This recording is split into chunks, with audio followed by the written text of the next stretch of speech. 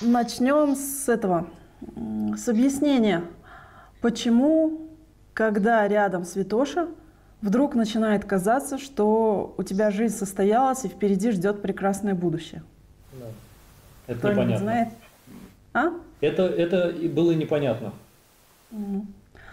Если перевести просто на Геру, на мать, вспомните, какое удовольствие играть в компьютерную игру, когда мама зудит, что надо делать уроки. Кажется, что у тебя все-все в жизни хорошо, и столько впереди ждет удовольствия и счастья. Вот только мама. А на самом деле убери зудящую маму, и компьютерные игры потеряют 90% своей прелести.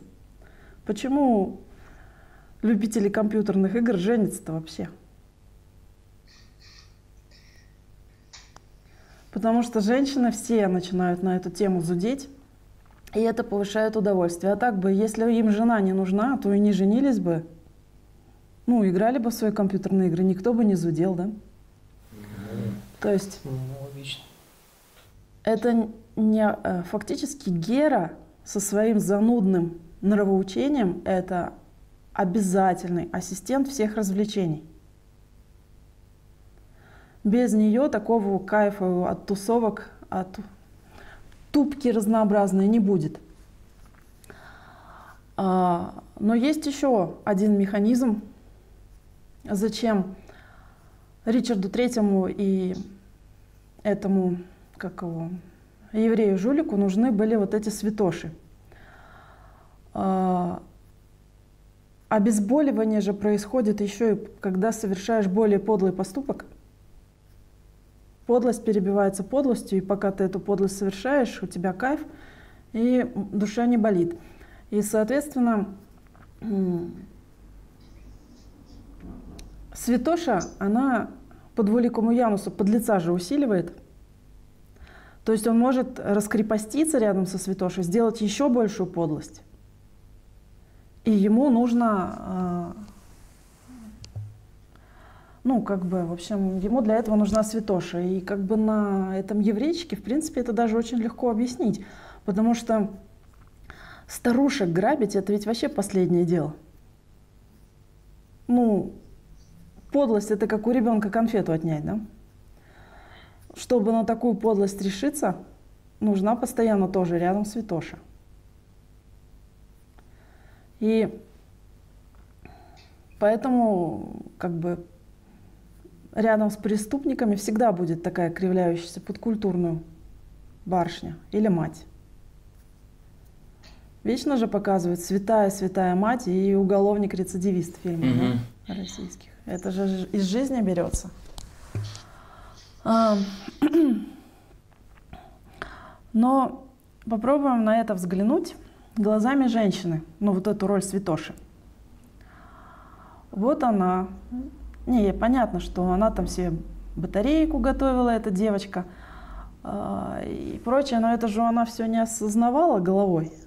Это у нее все на подсознании. А что у нее было на сознании? Она же думала, как и все обыкновенные девочки, что она будет культурной, развитой, образованной и сможет притянуть к себе такого же культурного, развитого, образованного принца. А бац, притягивается жулик. И тут у нее же как бы в голове становится два варианта описания. Если она э, светлая, то она скажет, ага, я, получается, жуликов усиливаю и вечно буду их притягивать. А можно сказать, что все мужики сволочи. Какого не притянешь, все жулик, значит все жулики. И возненавидеть очень сильно мужчин. И, кстати говоря, в каком-то смысле в случае этой девочки ненависть к мужчинам поможет же ей еще больше батареек сделать. Особенно, если она эту ненависть будет скрывать.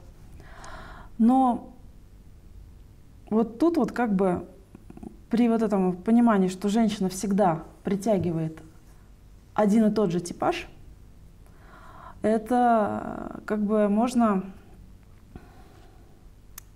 отсюда вычислить вообще, зачем женщине нужен мужчина. Ну, от чего, ну, от каких действий она будет удовлетворена рядом с мужчиной. А, получается, что если женщина это усилитель, условно говоря, да, мужчина это единица, он может что-то сделать и без женщины.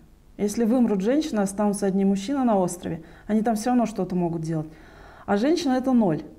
Сама по себе как бы ноль, но рядом с мужчиной десятка, да, становится. Mm-hmm. Ну, условно говоря. Может быть, она будет два нуля, три нуля, не знаю. Влиятельные женщины же есть и светлые, и темные. И, соответственно, она...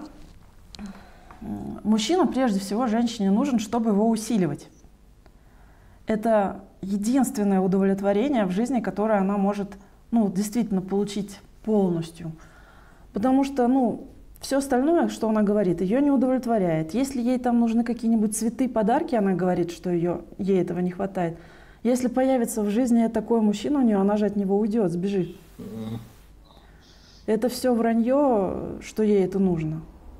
Нужно ей одно. Умение усиливать в мужчине то, что она хочет. А, не, ну как обычная невротичка – у нее столько травм, что она сама не понимает, что в мужчине усиливает. Это полный бесконтроль, вообще отсутствие власти над собственным подсознанием. Да? И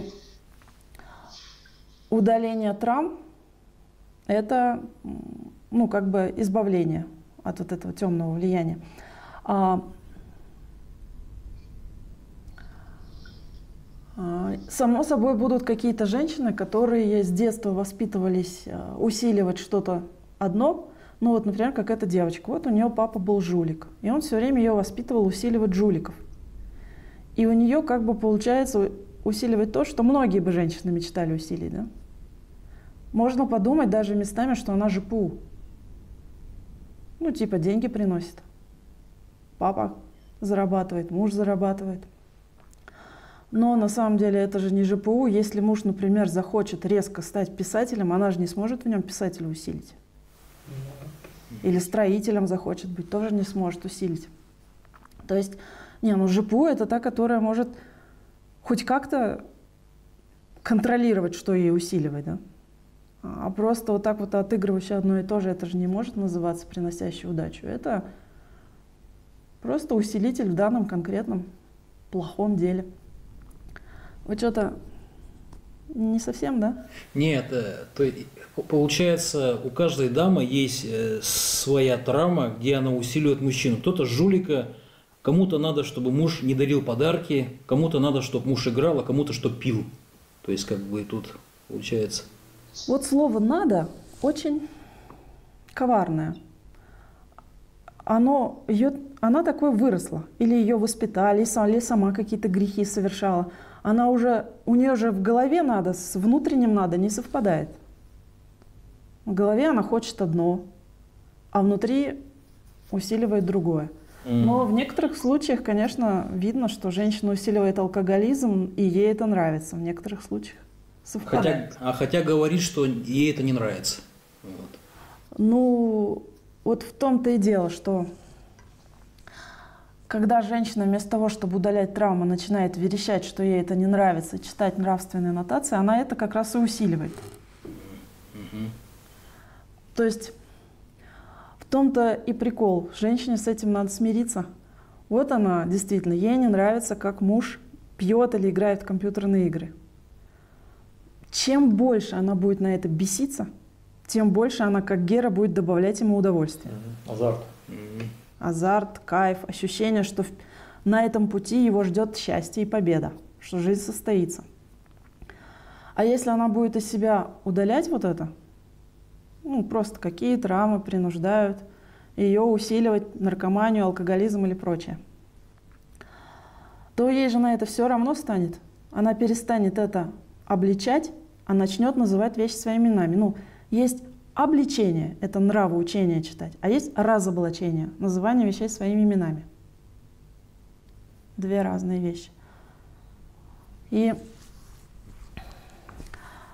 кстати говоря, вот из вот этой вот, вот болтовни моей можно вычислить определение, наконец, что такое подкаблучник. А то ведь как-то было непонятно. Посмотришь на Гарина, кажется, не подкаблучник, да? А определение подкаблучника можно такое дать, что подкаблучник – это тот, который позволяет женщинам усиливать в себе темное. А не подкаблучник – это тот, который не позволяет женщинам усиливать в нем темное. Мгм. Ну, а светлое это, пожалуйста, пусть усиливает, это же не подкаблучничество. И тогда сразу понятно становится, что Гарин это подкаблучник, да? М. Он уже позволяет темное усиливать этой Зои Монрос. Не, ну вот я, например, точно могу сказать, как жестко Меняйлов меня пресекал, когда я усиливала в нем темное. Первый, я не знаю сколько там, 10 лет, наверное, катарсиса.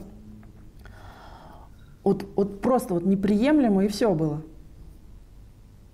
Ну, я, конечно, такого по жизни не видала. Нет, ну, конечно, есть все-таки. Даже мой отец, который, в общем-то, мощный подкаблучник, он что-то все равно не приемлил в жене, и, и она вынуждена была это убирать из своей жизни.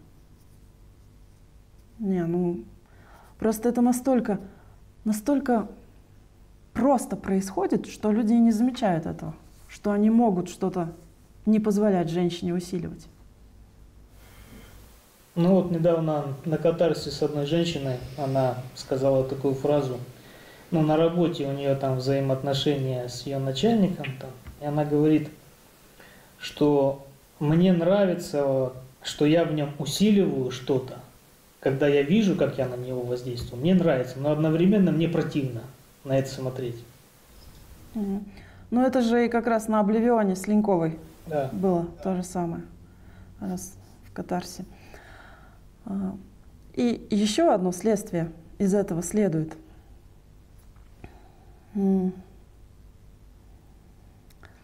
В общем-то, большая часть женщин мечтает о романтике. Романтика для нее это когда мужчина как бы ее добивается, бегает за ней, терпит от нее все. И, ну, так называемый конфетно-букетный период. Да? Но он заканчивается, и, соответственно, если женщина любит романтику в таком виде, то ей придется менять половые пар- половых партнеров. А, ну, такого же не может быть, чтобы не могло быть такой светлой романтики, которая бы исключала бы вот эту вот потребность менять половых партнеров. Но смотрите, если женщина усилитель, то если она сильно изменится, выкачает из себя какие-то травмы и начнет в мужчине усиливать что-то другое, они же как два свежих партнера, получается, два совершенно новых человека, да? Она изменила свое подсознание, рядом с ней изменился он. Они оба изменились и свежесть чувств. Мгм. Действительно, такое наблюдается при каких-то корневых проблемах, при удалении корневых проблем, как-то очень резко улучшались отношения у нас с дедом.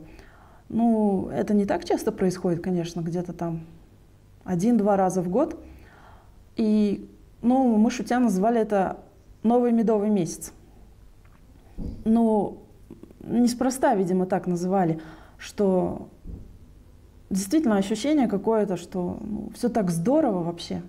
Ну вот оно и есть счастье семейное. А, а у девы, которая может кардинально удалять травмы каждый день, у нее какой красоты семейная жизнь будет? Сложно представить. Да, что-то нереальное. Да, это такое счастье, когда... Не, ну что такое медовый месяц? Это когда люди каждую минуту проводят вместе, им все интересно обсуждать, ни на минуту не хочется разлуш- разлучаться. Любое занятие вместе, даже бытовые вроде готовки, безумно интересны. И вообще как-то и рассказывать друг другу все интересно. В общем, все-все здорово. Но понятно, что для такого надо много работать. Но, во всяком случае, понятно, что дева намного счастливее какой-то там бледушки, меняющей партнеров. У вас есть какие-нибудь вопросы? Ну да, вопросы есть. Сейчас. Ну я, кажется, так до конца не понял вот этот механизм, если, э, например, ну вот эта Анна превращалась в святошу, она должна была у Ричарда вызыда- вызывать чувство, что он реализовался в жизни. Вот, Ну да. Я что-то, кажется, так и все равно не понял. Я Ну- тоже не понимаю, наконец. Как-то, я не знаю даже, как это объяснить. Я могу только повторить простой этот пример, что кто-то зудит, что надо правильно питаться, что надо там вегетарианцем быть. С каким большим удовольствием ты кусок мяса съешь, когда там кто-то ве- весь искривлялся? Потому что кто-то, кто кривляется, он сам хочет жрать мясо, да? Он кривляется, внутри-то у него другое. Ну, конечно, он кривляется. Ну ладно, с мясом непонятно, хорошо это или плохо. Надо какой-нибудь другой пример. Ну, например, кто-то кривляется, что надо А, ну, не пить, не пить алкоголь. А внутри он действительно сам хочет. И чем больше он сдерживает и кривляется, тем больше хочется другому пить. Но при этом еще ощущение возникает, что вот это вот питье не есть плохое занятие. Ну, если кто-то кривляется, что считает это занятие плохим, то по двуликому Янусу ты это занятие начинаешь считать хорошим. Да, это понятно. Только здесь я понимаю смысл, что это переносится как бы вообще на всю твою жизнь. Э, Не конкретно на одно занятие, например. Вот она святоша и запрещает ему играть в игры, а он, ему кажется, что в игры хорошо играть. Ну, а какой-то азарт приобретает. Но тут, получается, это чувство у него вообще на всю жизнь как бы распространяется рядом со Ну, святошей. можно, наверное, и так сказать, но э, настроение просто хорошее. Ну, нет, ну вот, например, Анна обличает э, этого Ричарда Третьего, что нельзя убивать королей. Это Мгм. плохо, М, это подло. И он думает, а я сейчас еще убью одного короля и вообще дам как буду. Понятно, ну, надо... ага. Это нев- невротически. Ну, в общем, она святоша во всем по жизни. И он, соответственно, также по жизни начинает, как сказать, у него все становится запретно по жизни, как бы. Мгм. Да, и запретный плод сладок говорят. Но это не описание, что запретный плод про- сладок. Если будет запрещать дева, которая в себе это прокачала, плод сладким не станет от этого. А вот если будет запрещать та, которая в себе это не прокачала, не назвала вещи своими именами, а просто кривляется и обличает, рядом с такой усилится. Так, просто То такой, есть дело не в запрете. Это понятно, да.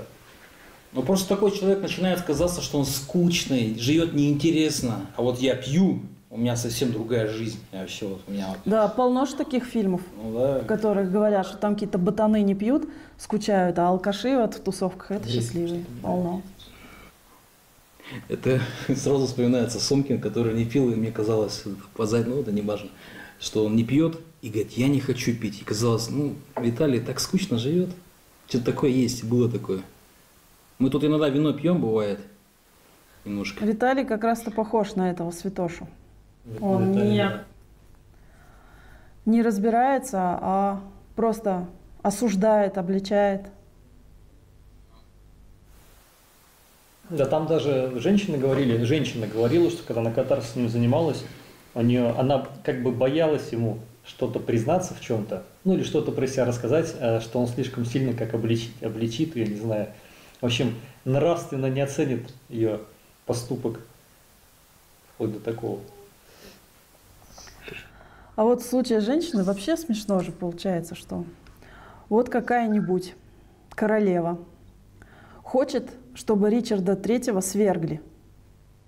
И если она вместо того, чтобы пойти удалять травму, э, почему она, ну, почему она усиливает этого Ричарда Третьего, пойдет ему нотации читать, обвинять, какой он сволочь и прочее, то она же его усилит,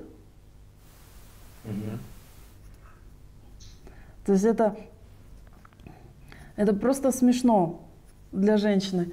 Чем больше она истерит, тем больше она усиливает плохое.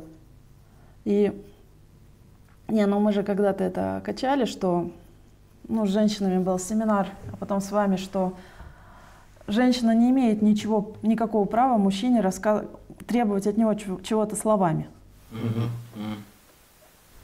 Ну, потому что она сваливается в Геру. И она начинает это усиливать. Б- бесполезно, просто бесполезно. Раньше тогда это тоже было непонятно, почему это нельзя. Ничего говорить словами.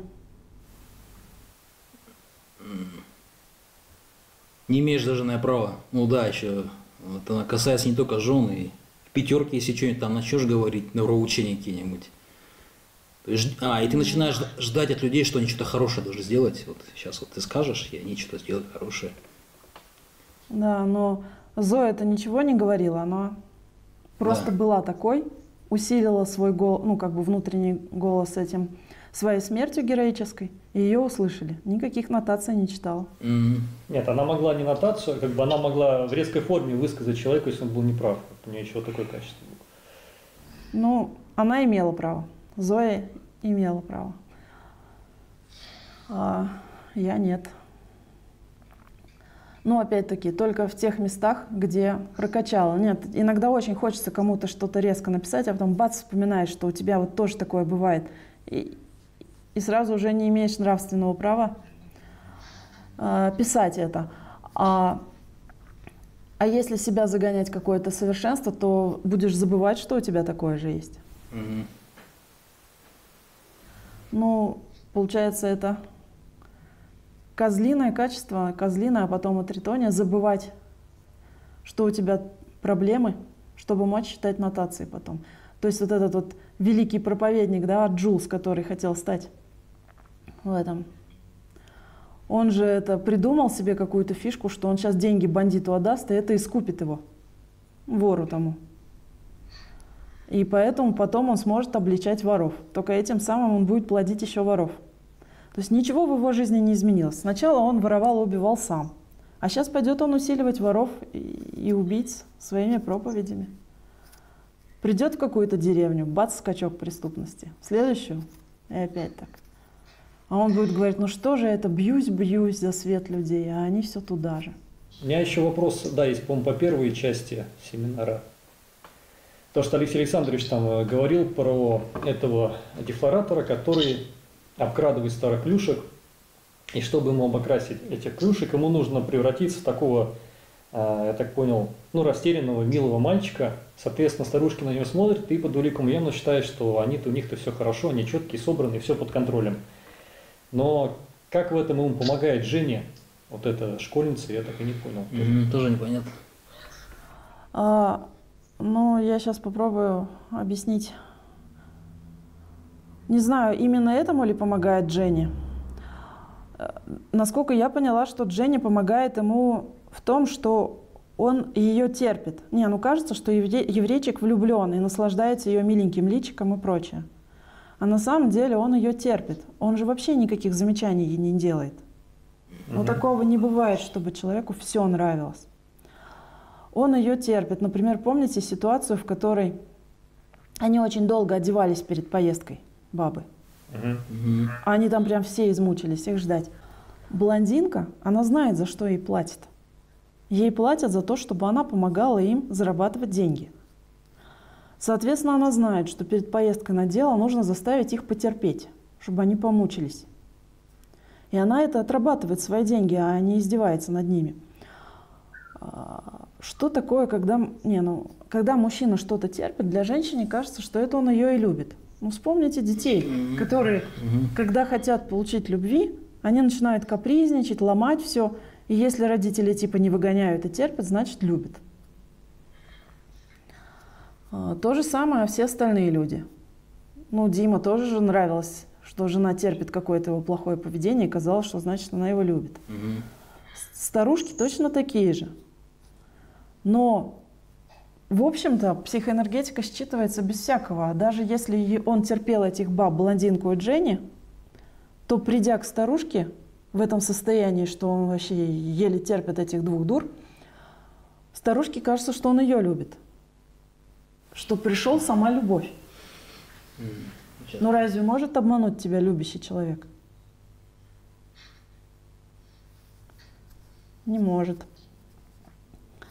А Дженни, конечно, не понимала, ради чего ее терпят наверняка. Но э, как бы все они ну, обе эти женщины, они используются чисто для бизнеса. Там вообще секса нет. Мгм. Секс это как ну, вынужденная мера, что ли, иначе там кто-то там, бабы не согласятся участвовать или кто. А, они нужны, чтобы их терпеть можно было, когда надо. Потом нужно, чтобы Дженни кривлялась под культурную. Тогда это их раскрепощает на преступление. Дженни их проповедник, Джулс, да, будущий. А, Эта блондинка, дополнительно, кстати говоря, своей тупостью их, наоборот, стимулирует искусство изучать. Если они не будут изучать искусство, они не отличат натуральную карту от подделки. Ну, да. Да, там показано так. Ну и, наверное, таких приемчиков очень много. И я думаю, что блондинка это вообще вот это вот как раз виртуозка по угадыванию, что нужно сейчас изобразить, чтобы мужчине обустроить такое состояние, которое им нужно. И, и она будет всегда хорошо оплачиваться, такая любовница. Ну да, там Ну, это то, что мы называли дорогая проститутка, да? Мгм. Которая не о себе думает, а пытается понять, за что ей платит. Ну вот ее мужик-то и выглядит солидно. А, вот этот черненький. Такой спокойный, уравновешенный. Это вам так, наверное, кажется. Мне он кажется таким говнюком. Так, да, Такая но подлая что-то, рожа. но что-то в нем есть как будто такое, да, он циничный, кажется, такой, свысока, зная себе цену, там, ну, разбирается в женщинах, что-то такое вот. А по-моему, просто издевающаяся рожа. Ну, Но это опять-таки, он младший партнер. Такая наглая, гадкая, А, просто вот похабная рожа нужна, чтобы у этого была такая прям масляная добрая рожа. М, а я просто думал, что он с- старший. да, рожами не отличаются. Ни, одной лишней, ни одного лишнего элемента в их банде нет. Все предусмотрено. Так и что тогда они расстались? Почему он ее бросил, если все так у них было четко? Если она была, если они были эффективной командой. Дженни пора было в, Оксфорд поступать. Кто кого бросил-то? А, ну вообще, когда Алексей Александрович сказал, что это Дженни э, решила там, ну как бы проявила первую инициативу, это было, не- ну как сказать, я удивился, потому что думал, что сейчас как в красных фонарях эту Дженни просто этот маховик там из этих уличников провернет и выплюнет.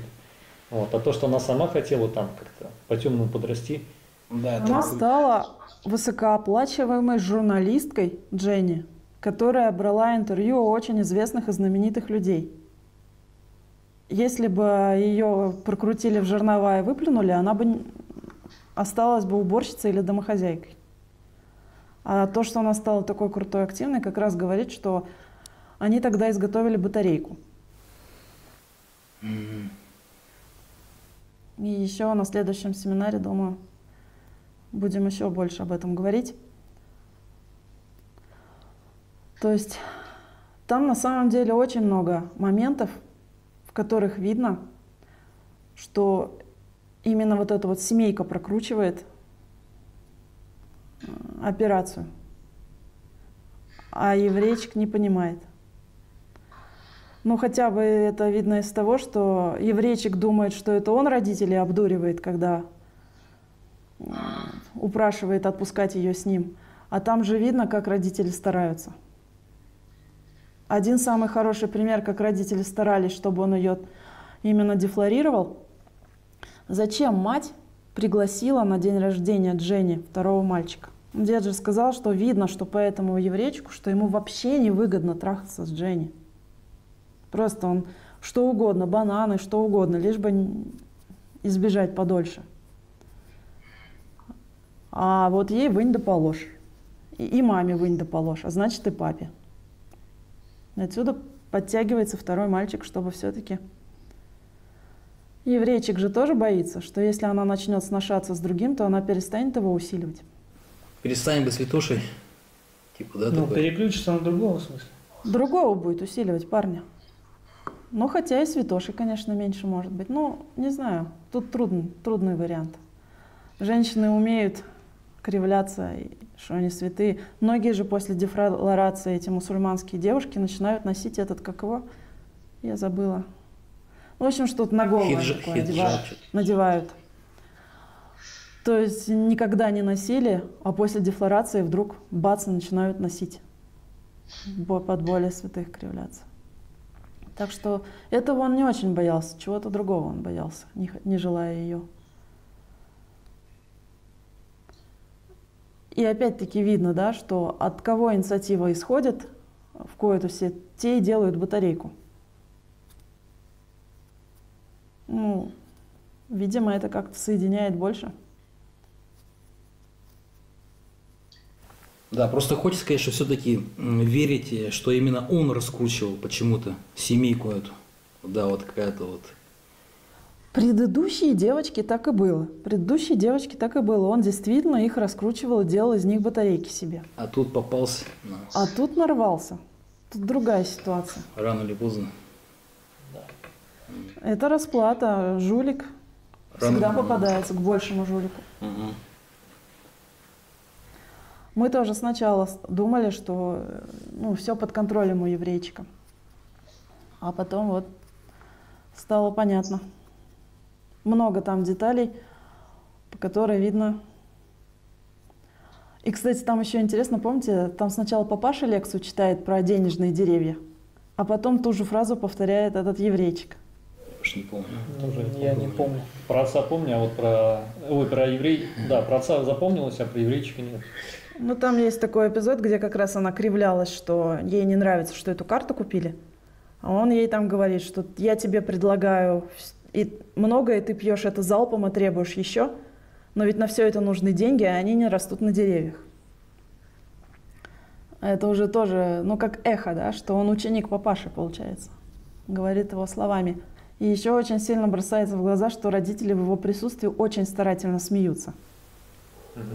Пер- первым делом еврейчик бы подумал, что они хотят выдать ее замуж за него, да? Мгм. Но ведь никогда не показывают то, чего хотят. Ну да. Если бы они только выдать замуж хотели, они бы изо всех сил это скривляли, скрывали. Да и все на подсознании знают, что легче всего выдать замуж, если запрещать. Да, это, да. Если они дадут ей посношаться там с ним, то вероятность, что он женится, гораздо меньше. Мгм. Это родители прекрасно знают, и тем более взрослые женщины это знают. А они нисколько не препятствовали, он бы мог догадаться, что они не хотят женить его. Ну да. Но это настолько привычная мысль, что... Ну да, она... Ну, я- плюс- Да. Да она даже, как сказать, да, она это несложная мысль. Я слышал историю, что когда э, там дочка решила жениться, а родители не знали, как отвадить от жениха нежелаемого, и они начали просто пичкать им ее, приглашать в гости, там, названивать ему сами, дружить. В общем, Все- она сама послала его. Все это знают, да. И, в принципе, да, наверное, бы еврейчик бы мог бы это раскусить. Но там есть очень хитрый маневр. Папаша кривлялся под тупого. Когда кто-то, как Дима, кривляется под тупого, начинаешь себя считать ужасно умным. А когда ты начинаешь считать себя умным, ты уже попадешься на любую комбинацию, все из головы вылетает. И Дима бы, в принципе, мог бы зарабатывать ассистентом жулика. Ну, он так и Ну, и я, заработал, я я зарабатывал. зарабатывал в свое время сколько Точно, я и забыла. Только потом в долги залезаешь со временем. Ну, расплата будет. На жуликов нападаешь, попадаешь потом. Ну что, ассистент жулика, это же тоже жулик все равно. Соответственно, он будет попадаться на жуликов, да. Вроде. Ну, у меня Вроде нету, да. Такой только э, вопрос там про Ричарда Третьего. Он когда женился на Анне, э, он знал, что она из святоши через там сколько-то лет превратится, ну, в какую-то противофазу войдет. Я только не понял, почему обязательно она должна войти там в какую-то противофазу, перестать так, ну, благотворно влиять на него, как святоша. Ну, я не знаю, для меня самой это сегодня была новая информация. Об этом я еще не знаю. Но вообще, чисто теоретически, все-таки человек цикличен. Мгм. Ну, это как... Просто, просто как сорваться, допустим. Человек не может постоянно в одном кольцо. Постоянно по маятнику. Не, ну вот даже женщина, да, вот она по молодости Венера, потом рожает детей Гера, а потом в 45 баба ягодка опять. А потом опять святая. То есть да. Циклы меняются. Да и даже вы, то прям все из себя кривляетесь, книжки читаете, там что-нибудь, то срываетесь там. Непонятно, да, Юра, как так можно? Не, ну плюс она власть получит. Ну, плюс она же власть получит. А женщина, которая получает власть, э, что она? Она уже себя не сдерживает. Зачем ей себя сдерживать? Ну и это тоже. Ну еще к тому же, наверное, амплитуда тоже. Не, ну чем больше нагрешишь, тем больше потом под святого же будешь кривляться. Мгм. Мгм. Возможно, еще даже такое, что запал кончается. Не, ну вот смотрите, действительно. Двуликий Янус – это всегда синус. Если вот святоша – это верх, то потом же все равно падение. А вот в этот момент падения же что делать Ричарду? Ему-то нужна святоша. Мгм. Ну да, избавиться от нее. Ну да. Мы же не знаем, сколько лет длится этапы у Анны. Если она три года святоша, три года бледует, то за эти три года Ричарду слишком опасно без святоши оставаться.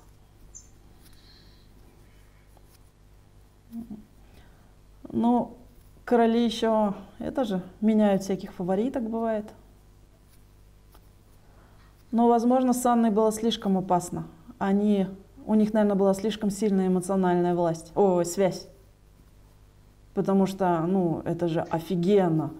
Роман з- з- на, на фоне двух гробов короля и, и мужа принца. Такая сильная невроз, которая будет их держать вместе. И действительно, он даже с помощью фаворитки не сможет от нее избавиться. Да, ему надо было очень чутко все это контролировать.